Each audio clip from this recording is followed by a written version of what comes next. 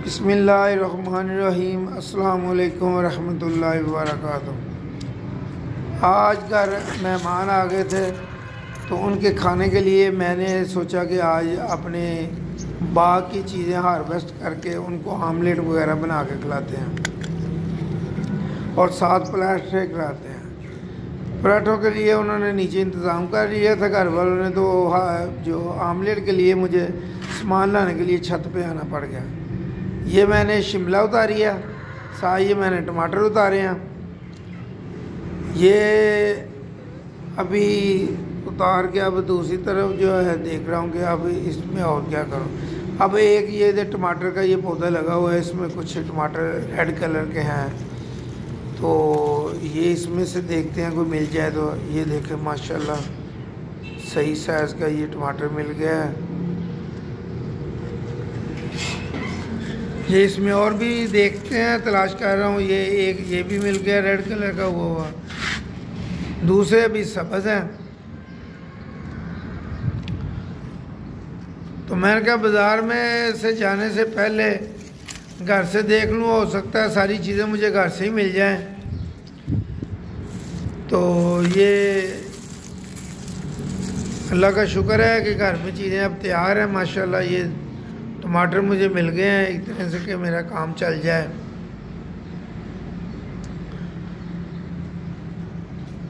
ये अब यहाँ पे मेरा सब्ज़ प्याज है।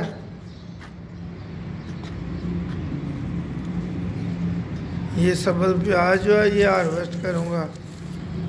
ये भी चाहिए मुझे, ये भी ले जाता हूँ नीचे।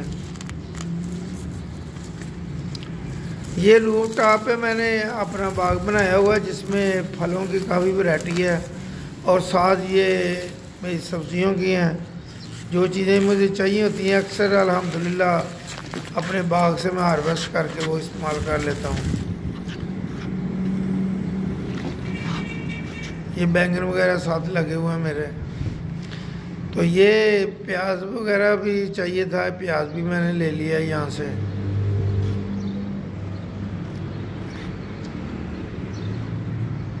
अब मुझे कुछ इसमें मसाला चाहिए, वो ये हरी मिर्च मेरे पास लगी है।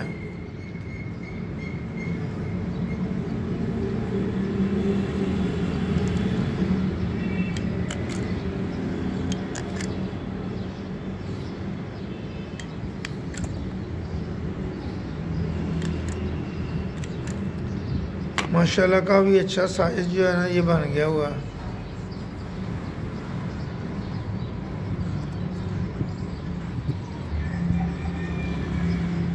ये सब्ज़ मिर्चा है मेरे पास।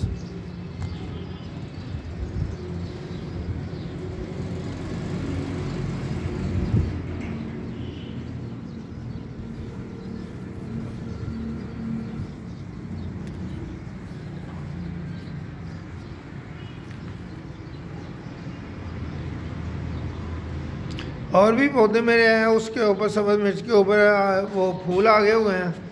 तो ये तो पक्की हुई थी मैंने कहा इनको ले ले थे हैं। ये मेरे चेरी चेरी टमाटर है, मैंने कहा ये भी साथ, सलाद के लिए कुछ ले जाऊँ। ये देखो, माशाल्लाह, चेरी टमाटर मेरे तैयार है, माशाल्लाह, शुक्र अल्हम्दुलिल्लाह।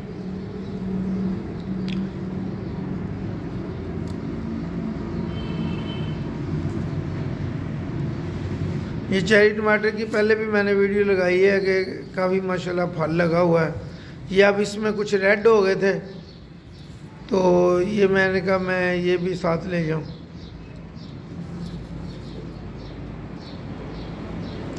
कम से कम, मेहमानों के लिए एक टाइम का जो है खाना वो मुकम्मल हो जाए।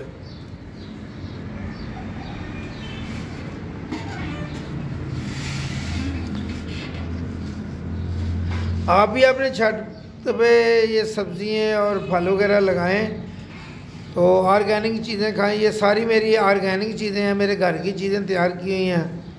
ये सारी केमिकल से पाक हैं।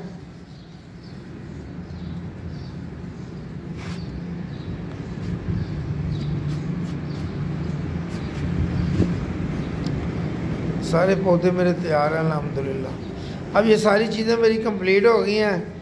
अब मुझे कुछ मुर्गियों की तरफ़ जाना पड़ेगा। वहाँ से देखते हैं अंडों की क्या पोजीशन है। क्योंकि आमलेट बनाने के लिए जारी बात है, मुझे अंडे भी चाहिए तो उसके लिए तो मुझे बाज़ार जाना पड़ेगा। लेकिन नहीं, अल्लाह ताला ने मेरे पास इसका भी सोर्स बनाया हुआ है। मैंने मुर्गियाँ घर में पाल रखी हैं और साथ साथ वो मुर्गियाँ जो है आगे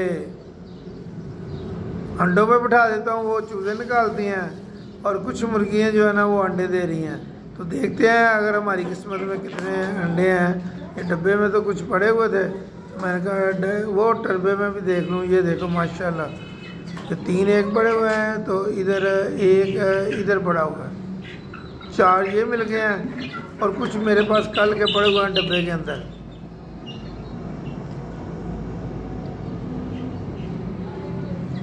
चलो।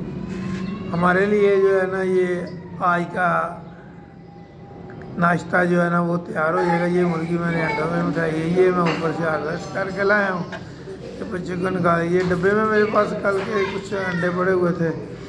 तो ये सारे मैंने का निकाला ये देखो ऊपर चेरी टमाटर लगे हुए हैं, ये घर में नीचे पड़े हुए हैं, पानी के अंदर मैंने लगाए हुए हैं। ये अल्हम्दुलिल्लाह।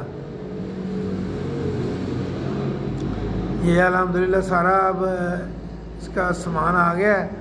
तो अब घर वालों को मैंने कहा है कि जल्दी जल्दी हमें और मेहमानों को नाश्ता बना के दें पराठों के साथ। तो अल्लाह ताला का लाख लाख शुक्र है, ये घर में मुझे मेरी सब्ज़ियाँ मिल गई हैं, ऑर्गेनिक और फ्रेश।